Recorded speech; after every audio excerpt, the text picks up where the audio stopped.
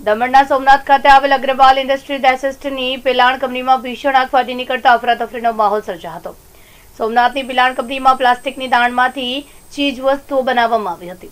આ કંપનીમાં પ્રોડક્શનની કામગીરી ચાલતી હતી તે વખતે ભીષણ આગ ફાટી નીકળતા કામદારોએ નાસભાગ મચાવતા અફરાતફરીનો માહોલ સર્જાયો હતો. આ બનાવની જાણ થતાં દમણ તથા વાપી સહિતના ફાયર બ્રિગેડના લશ્કરો કલાકોની જહેમત બાદ આગને કાબૂમાં લીધી હતી, જો કે આગના કારણે લાખો રૂપિયાનું નુકસાન થયું હતું. ये कंपनी का नाम क्या है? इसके अंदर क्या बनता था? सर पिलानी उद्योग नाम है। इसके अंदर फॉर्ग्रेशन प्लांट था और, और पीपी प्लांट था प्लास्टिक कितने बजे ये आग लगी है?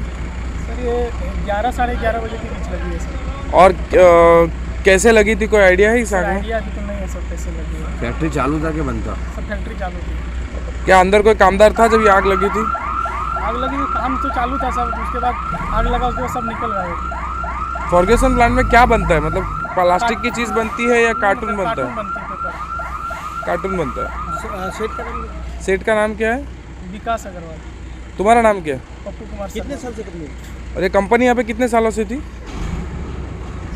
आप कितने साल से काम कर रहे हो मैं इधर आठ साल से कर रहा हूँ ठीक है પહેલા હાથ સાહેબ તે નહીં મળે ના આટલી મોટી ઉદ્યોગ તમે બાજુમાં જોઈ શકો કે રહેવાસી વિસ્તાર પણ છે આમાં હવે આ આગ પર કાબુ જો નહીં પામી શક્યા ને, તો બહુ મોટી જાનનો ખતરો થઈ શકે છે.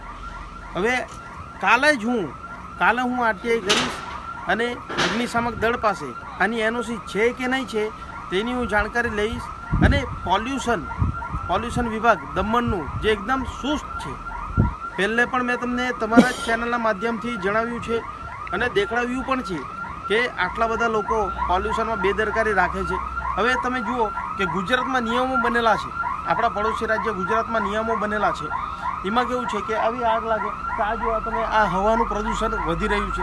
અને આટલે જુઓ કે પાણીનું પણ પ્રદૂષણ વધી રહ્યું છે. આ બોમ્બાનું પાણી ઇસ્તેમાલ થઈ તેનાથી પાણીનું પ્રદૂષણ વધે ને આ વધે. એની જવાબદારી કંપનીવાળાની હોય. એમની લાપરવાહીના લીધે આટલે આગ લાગી છે. કોઈનો જીવ પણ ખતરામાં આવ્યો છે, જીવને જોખમ બન્યો છે અને આપણું પ્રદૂષણને પણ નુકસાન થયું છે.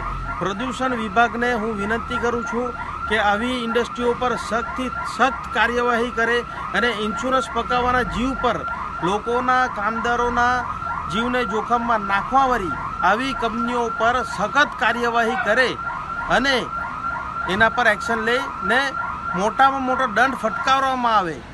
તેના માટે હું વિનંતી કરું છું અને જય હિન્દ, જય ભારત સાથે આપણા વંદન. ચાલો. આ તમે જોઈ રહ્યા છો, આ વિસ્તાર છે સોમનાથ.